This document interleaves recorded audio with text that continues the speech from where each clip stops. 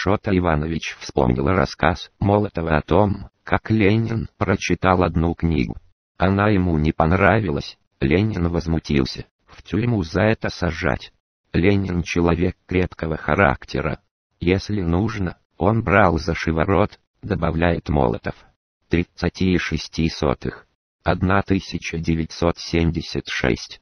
Говорят, что Ленин не имел отношения к расстрелу царской семьи в 1918 году, что на это решилась местная власть при наступлении Колчака. А некоторые говорят за брата. Тогда Ленина изображают чудаком. Это мелко травчатые обыватели. А тут даже думать не надо. Это настолько ясно, что иначе и быть не может. Не будьте наивным. Мы гуляем по дачному поселку, Молотов вдруг остановился, ткнул палку в асфальт и посмотрел на меня. Думаю, что без Ленина никто на себя не взял бы такое решение. Когда дело касалось революции, советской власти, коммунизма, Ленин был непримирим. Да если бы мы выносили по каждому вопросу демократические решения, это бы нанесло ущерб государству и партии, потому что вопрос тогда бы затянулся надолго и ничего хорошего из такого формального демократизма не вышло бы. Острые вопросы Ленин нередко решал сам, своей властью.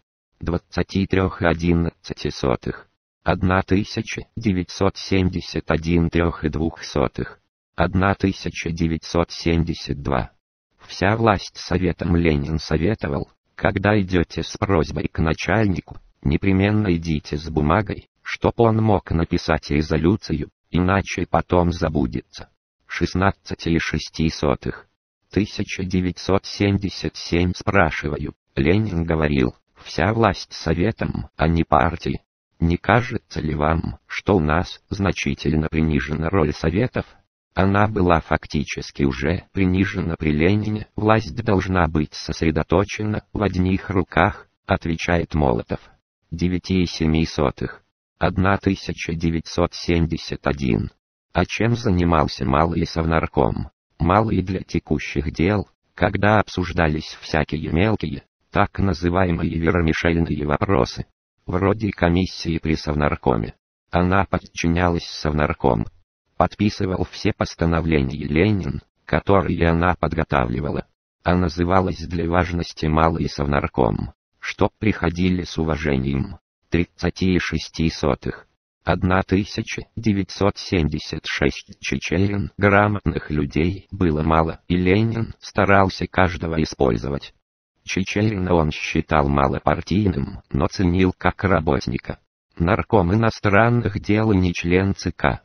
Сохранилась такая записка Ленина на письме Чечерина от 20 января 1922 года. Т.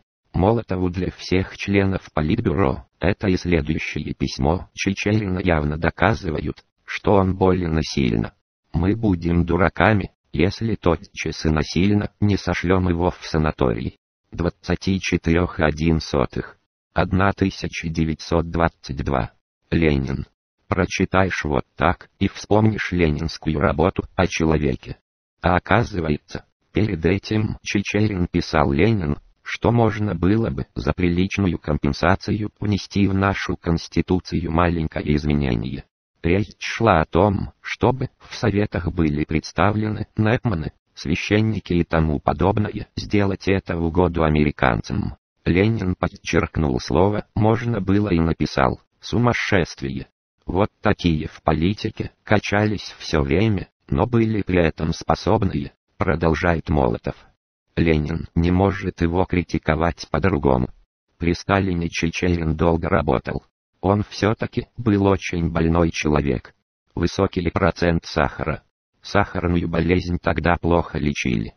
Помню, одно письмо он написал, что же это делается. Проституированный наркомендил. Хулиганизированный коминтерн. Зиновьевцы руководят делами. Ему казалось, что не так все делается. Литвинов уже был наркомом, а ЦК не критиковал? Нет. Еще бы. А как же без ЦК? Наркомендел отчитывается только перед ЦК, больше не перед кем. Все дела наркоминдела идут только в политбюро. А Чечерин вначале был крепче. Из большевистских рядов, но переродившийся. 21,6. Одной тысячей девятьюстами семьюдесятью двумя Чечерин чрезмерно злоупотреблял письмами в ЦК. По три-четыре письма в день посылал об Эфиопии, о Франции, об Америке, о чем хочешь. Ленин за это называл его графоманом. Он ночью работал, писал. Вот беда. Письма писал легко. Очень культурный, очень образованный. Языки прекрасно знал, и оба, всем раз письмо. В политбюро все идет. Никакого отдела не было. А надо же знать международные дела, читать секретные шифровки, никто не читал, кроме меня. 14,1 сотых. 1975 на что вы ориентируетесь? Был зампред Совнаркома Грузием Диване, оппортунист. Он допускал ввоз иностранных товаров в Батуми. Я присутствовал на политбюро, когда его Ленин спросил, на что вы ориентируетесь. Диване ответил, ориентируемся на дешевый товар. Это марксист на дешевый товар. Ленин был против всякого ослабления монополии внешней торговли. В первые годы революции фактически допускался приход иностранных кораблей. Они могли завалить нас товарами. Вот тут был спор. Ленин был горячий сторонник безусловного закрытия такой внешней торговли. Можно в частном порядке, но надо твердо держаться монополии внешней торговли. А грузины, вот в диване, вывозили черную, паюсную икру. Он явно оппортунист был. Старый коммунист, большевик считался, но гнилой такой. 9,12 сотых. 1982 не первые лица, Калантай вместе со Шлепниковым против Ленина выступала, портила кровь Ленин, замечает Шота Иванович. Она все-таки выдающийся человек. Да, выдающийся, безусловно интересные. Поклонников меняло много. А как вам фильм о Калантай, посол Советского Союза? Калантай выиграла войну? Наивно. Была послом, выполняла наши указания, как и подобает послу. Я ее хорошо знал. У меня были с ней довольно хорошие отношения, но она, конечно, не настоящий революционер.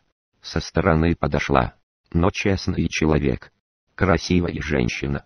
Побывала с одним, побывала с другим. Муж у нее был Дебенко, а до этого Шлепников. Такая публика, которая мало доверия вызывала. А сама она очень способная, как писатель. Хороший оратор, особенно для женской аудитории. Красиво очень говорила, с большим чувством, искренне. Производила впечатление. Полина Семеновна была ее поклонницей. Смелая, в словах, в жестах очень свободные. Жила долго в Европе, там выступала, языки знала, очень культурный человек. Дочь генерала. Ленин настолько обмакорнил, так и сказал. Ф. Ч. Почитайте его речь на одиннадцатом съезде партии, где он говорит против рабочей оппозиции. Оппозиция Шлепникова и Калантай, как он выразился, это непосредственно спаяны товарищи. До Шлепникова кто у нее? Там ведь был основной муж. Она была женой одного офицера, дворянина. Но с ним разошлась по принципиальным, идейным соображениям и ушла в революционный лагерь. Во время Первой мировой войны примкнула к большевикам. Раньше она была в сторонке. Ленин с ней вступил в переписку. В старой правде не участвовала. Мне, говорю, один старичок рассказывал, что вагон, где гуляли Калантай и Дыбенко, в гражданскую войну называли Калантаевка. Разве? Дыбенко один из ее последних мужей. Она боевая. Двух мужей расстреляли, а она уцелела, говорит Шота Иванович. Она у нас была невредной. 25,1 сотых. Одной тысячи девятистах семидесяти пяти двадцати восьми и четырех сотых. Одной тысячи девятьсот семьдесят шесть был нас, Мануильский, член ЦК. Из старых большевиков, но путаник. В троцкисты попал. Примиренческого такого склада был, считал, что можно договориться с Троцким. Этот Мануильский был большим анекдотистом, всегда потешал нас своими шпильками, придуманными им самим же, главным образом. После войны он был министром иностранных дел Украины, приходит ко мне, вы меня считаете дипломатом? Я говорю ему, есть дипломаты разные, но главным образом, двух видов, дубовые и липовые. Он смеется, значит, я липовый. 28,11. 1974 Лазовский был моим заместителем. Его тоже арестовали за связи с американскими евреями. Он не дал никаких показаний против Полины Семеновны. Лазовский умел долго говорить. Ленин называл его за это дружинным. Претендовал на остроумие. Деголь на выдумке, хитро это его выражение. Мануильский распространил анекдот, что когда умер Молотов, Лазовский вызвался говорить на похоронах, и так долго говорил, что Молотов не выдержал, его стошнило и он ожил. Десяти и четырех сотых. 1979 предлагаю почтить. Конечно, Ленин выше Сталина. Я всегда был такого мнения. Выше в теоретическом отношении, выше по своим личным данным. Но как практика Сталина никто не превзошел. Молотов отказался праздновать свое девяностолетие. Я отвечаю всем, меня не будет. Как-нибудь потом соберемся. Приедете во второй половине марта. А девятого я уеду. Много народу тяжело. Ругать не могут не положено. Ленина в 1920 году заставили отметить юбилей. Он сказал главное не зазнаваться. Революционеры могут победить, если они не будут зазнаваться. Курьезный эпизод произошел в 1920 году на чествовании Ленина, по случаю его 50-летия. Преображенский закончил свою приветственную речь так, «Я предлагаю почтить». Зал хохочет. Ленин ему машет руками. Кого почтить? Только память чтят. Преображенский потом был в оппозиции, троцкист. Предлагал снять Сталина с поста генсека на том основании, что у него много должностей. Ленин тогда сильно защищал Сталина. 29,2. 1980 Почему застрелился Орджоникидзе? Серго Орджоникидзе хороший и, безусловно, достойный член ЦК, но на десятом съезде были выступления против того, чтоб его избрать в ЦК он групп, с ним нельзя иметь дело и тому подобное. Ленин выступил в его защиту. Я его знаю как человека, который предан партии, лично знаю, он у меня за границей был. Из зала кричат, мол, зачем он рука прикладством занимается? Ленин отвечает, что вы от него требуете. У него такой характер вспыльчивый. Темперамент очень большой, и вы учтите, он плохо слышит на одно ухо. Причем тут плохо слышит, а вот, надо было защищать хорошего человека, потому что он действительно хороший, Серго. Это 1921 год, Серго все время на фронтах, время горячее и сам горячий был, и я допускаю, что он мог кому-нибудь дать по затылку.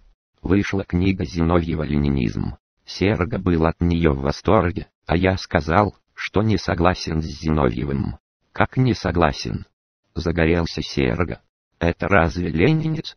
Как? Ты его не считаешь ленинцем? Да, книга не ленинская. Ну что ты понимаешь?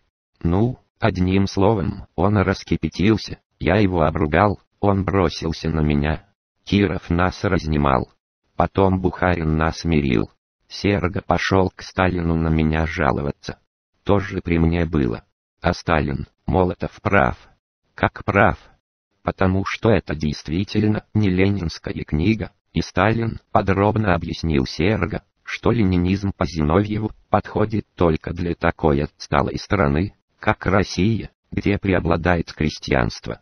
28,7 1971 24,5 1975 с кем вы дружили, Вячеслав Михайлович? Серго. Хороший товарищ. В 1917 году мы познакомились и всегда были в очень хороших отношениях.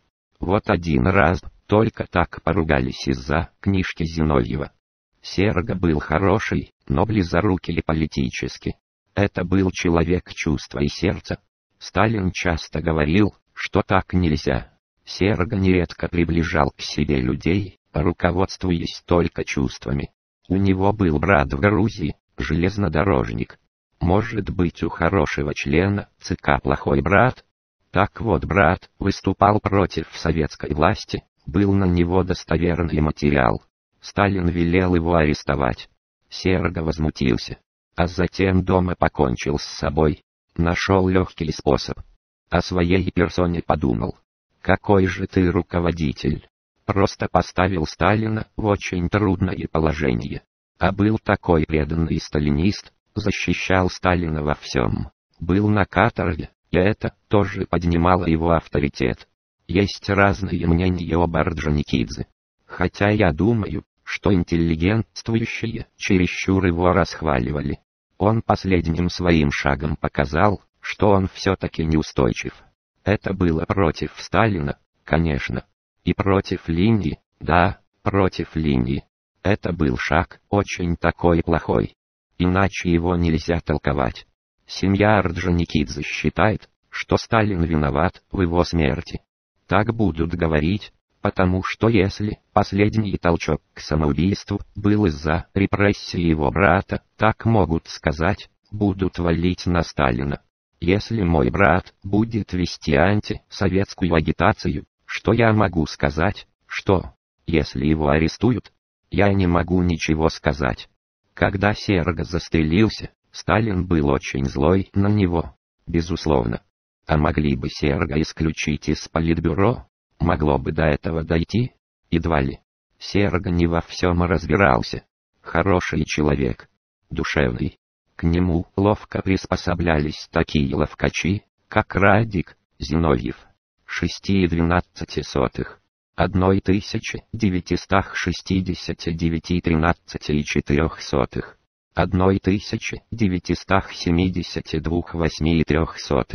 девятистах шестидесяти девяти тринадцати и четырех сотых. Одной тысячи девятистах семидесяти двух восьми и трех сотых одной тысячи девятистах семидесяти четырех девяти и двенадцати сотых, одной тысячи девятистах восьмидесяти двух двадцати шести и один сотых, одна тысяча девятьсот восемьдесят шесть серга, большевик хороший, но мягкотелым был, в принципиальных делах мягкотелым, но он не Микоин. Андреев, наш друг, был членом Политбюро при Сталине довольно долгий период, а входил в состав троцкистской группы. Да, ошибся человек, был троцкистом. Сам из рабочих, большевик, до революции был одним из наиболее видных. Более видный, чем Рудзутак. Рудзутак был более сильным до революции. Так трудно сравнить, можно сказать, что они примерно одинаковы. Рудзутака вспоминают в Грузии, говорит Шота Иванович, считают, что Сталин его зря. Как сказать, зря, не зря.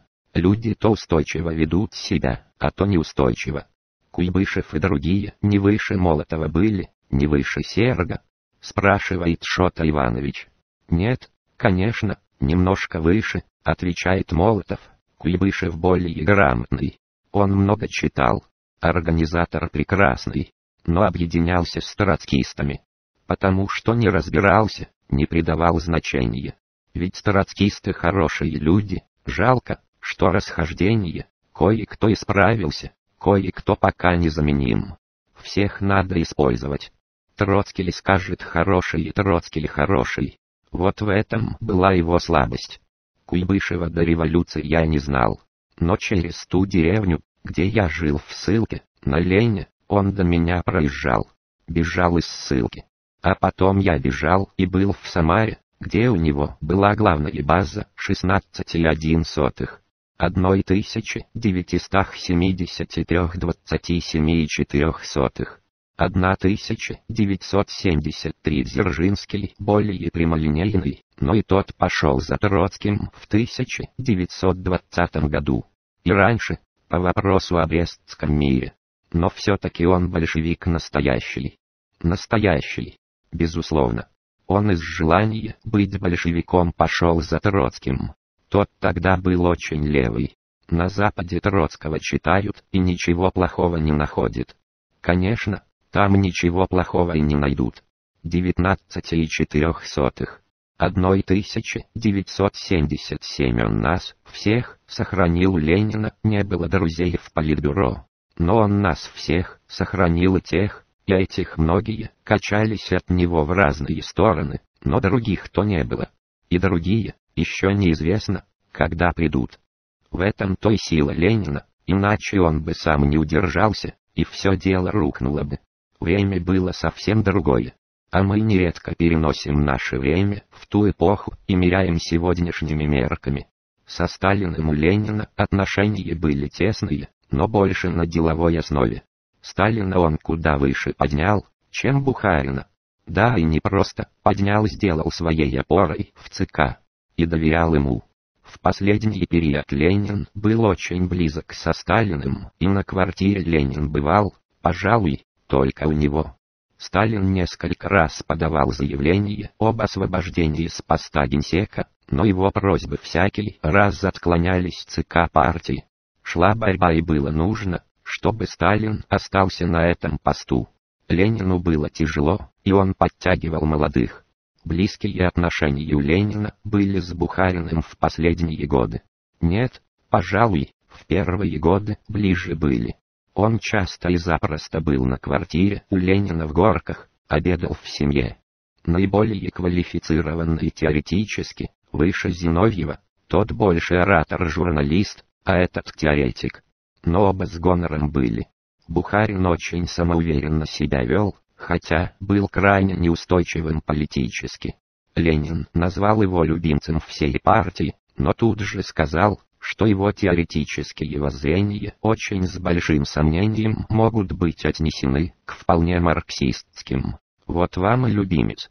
Да и до этого Ленин его бил нещадно. А так Бухарин добродушный, приятный человек, Ленин хорошо относился к Бухарину, но не мог, конечно, никак быть с ним в близкой дружбе, поскольку Бухарин был для него ясен в философском и в политическом отношении. Бухарина Ленин ценил, но среди кандидатов в политбюро ставил напоследок, третьим, после меня и Калинина. Ленин был очень осторожен в отношении политбюро, не поднимал авторитет, а приближал, не отталкивал, но показывал, что надеяться на этого человека нельзя. Это видно по тем кандидатам в политбюро, которые тогда были. А Бухарине сказал, что это великий лепутаник. И это видел не только Ленин, но и многие другие. Чувствуется, что Ленин его жалеет, но не может ничего ему уступить в идейной области. А Бухарин все искал смычку с эсерами, его тянуло в эту сторону, он поддерживал личные знакомства после революции. Бухарин более серьезный человек, чем Зиновьев. Гриша. Тот любил красное словцо. Говорю Молотову. Я нашел том Ленина, третье, издание, под редакцией Бухарина, Молотова, Скворцова-Степанова.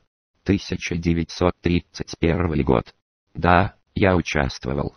Политбюро поручило, по распоряжению Сталина, для того, чтоб немножко следить за Бухариным. Скворцов Степанов очень хороший человек, грамотный.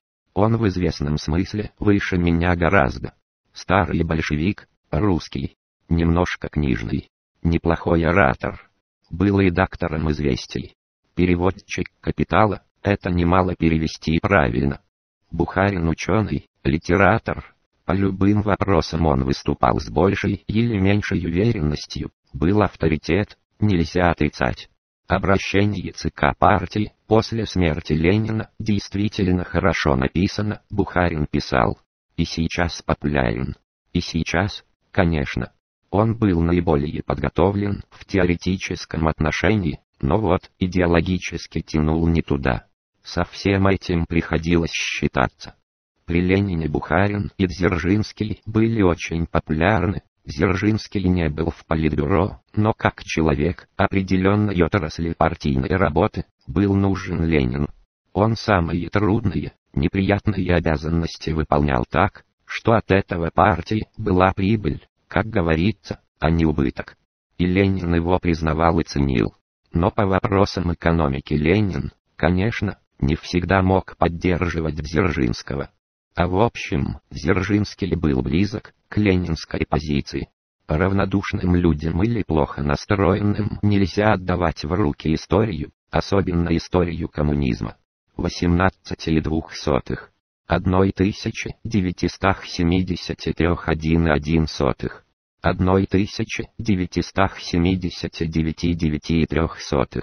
Одной тысячи девятистах семидесяти трех один и один сотых. Одной тысячи девятистах семидесяти девяти девяти и трех сотых. Одной тысячи девятьсот восемьдесят пять вы из всей плеяды оппозиционеров выше всех Бухарина ставите? По теоретическому уровню да более знающий. Зиновьев пытался, но поверхностно.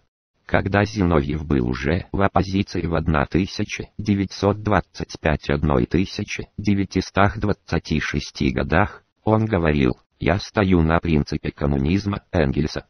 «Я не знаю», — отвечал Сталин, «читал ли эти принципы товарищ Зиновьев, я боюсь, что не читал, а если и читал, то, видимо, не понял» как снег на голову. Сразу противника поставил в такое положение. Читал или не читал, а читал не понял. Если нет, я вам снова почитаю, а вы увидите. Хитер был Сталин. Очень хитер, да. Девяти и семи сотых. 1971. Ша. И. Квантальяни говорит, когда я приезжал в деревню, у всех на языке был Бухарин. Бухарин, Бухарин. Дядя говорит, по всем вопросам пишите Бухарин. Портреты Бухарина. Он был редактором «Правды», потом был фактическим редактором «Коммуниста», назывался большевик. Определенные круги ему сочувствовали, отвечает Молотов. А как, человек, какой он был? Очень хороший, очень мягкий. Порядочный, безусловно. Идейный. Погиб за свою идею. Да, потому что пошел против линии партии. Достоин уважения? Достоин. Как человек да. Но был опасный в политике. В жизни шел на очень крайние меры. Не могу сказать, что это доказано полностью, по крайней мере для меня, но он вступил в заговор с эсерами для убийства Ленина. Был за то, что арестовать Ленина. А тогда, когда шла стенка на стенку, была такая острота, что Ленина бы казнили. Эти обвинения могли сфабриковать? Не думаю. Для пущей убедительности могли. Учтите, в политической борьбе все возможно, если стоишь за другую власть. Бухарин выступал против Ленина и не раз. Называл его утопистом. И не только предателем. Правые тоже коммунисты. Они только назывались коммунистами. Социал-демократы и меньшевики, и большевики. Одни были по одну сторону баррикад, а другие по другую. Эсеры, социалисты-революционеры говорили, что мы недостаточно левые, а потом оказались вместе с Кулачем против большевиков. Название для политика второстепенный вопрос, и очень часто оно для надувательства. Всегда была буржуазная партия радикал-социалистов. Радикалы крайние, а партия чисто буржуазная. Бухарин в период Брестского мира был левым, а после стал правым. В 1929 году он говорил о военно-феодальной эксплуатации крестьян. 28,11. 1974 Бухарин любил выпивать? Спрашивает Шота Иванович. Нет. Рыков любил. У Рыкова всегда стояла бутылочка старки, Рыковская водка, была этим он славился. Но мы все в компании выпивали, так, по-товарищески. Я в молодости очень крепко мог выпить. Сталин само собой. Куйбышев любил, Валерьян. Стихи писал. Хороший человек, очень хороший. И Киров замечательный человек. Зиновьев выше Серга теоретически. Выше. А Бухарин выше, чем Киров. И Каменев выше, и, тем более, Бухарин. Каменев сильный был, очень, но Бухарин наиболее подготовленный. Длительная борьба шла. На страницах прессы, прямо на глазах у всех Бухарин был с нами до 16 съезда. Втроем Бухарин, Сталин и я все время вместе писали документы. Он был главный писатель. Л. М. Каганович говорил мне, что Молотов называл Бухарина Шуйский. Ф. Ч. Сталин Бухарина называл Бухарчик, когда были хорошие отношения. Припоминаю, но ускользает что-то. А были хорошие отношения. Томский ли послабей? Он в теории не очень. Томский ли хороший массовик, мог говорить с рабочими. 28,7 сотых.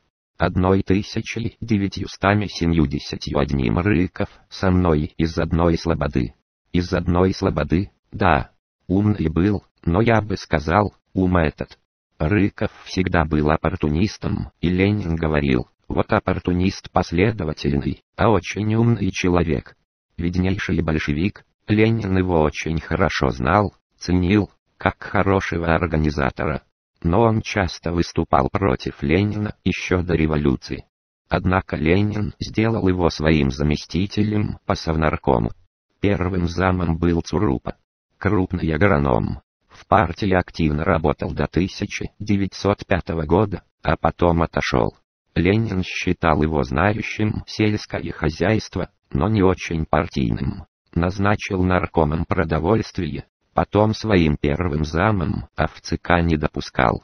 В 1921 году Ленин как-то в воскресенье позвонил мне из горок, Поезжайте к Рыкову и договоритесь с ним о том, что я вот предлагаю поставить в ЦК вопрос о назначении его моим заместителем и об освобождении его от обязанностей председателя ВСНХ.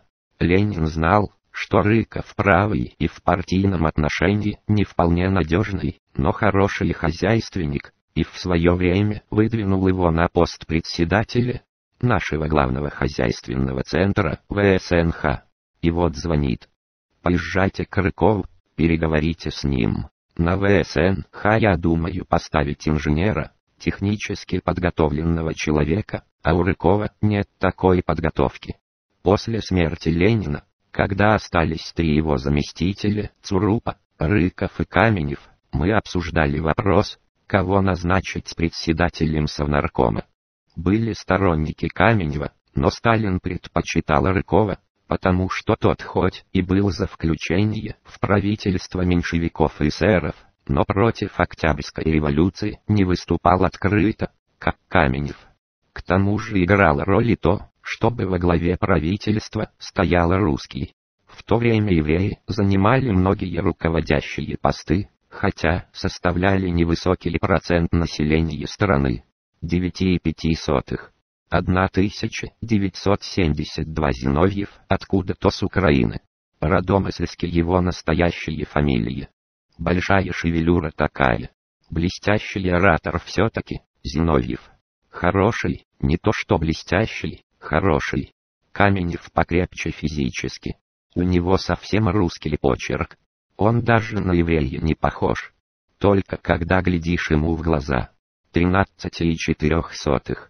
1972 под видом ленинцев много сомнительных людей было.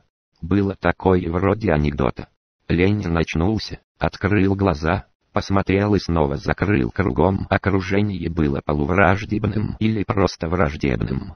У Ленина противников было, конечно, немало. Когда я работал в «Правде» в 1912 году, получили мы, помню, письмо Кристинского. Он писал в этом письме, что Ленин антисемит, что Ленин на антисемитских позициях стоял, так, как он очень грубо ругал меньшевиков-ликвидаторов, которые поддерживали сомнительных людей. Вот Кристинский обвинял Ленина в антисемитизме.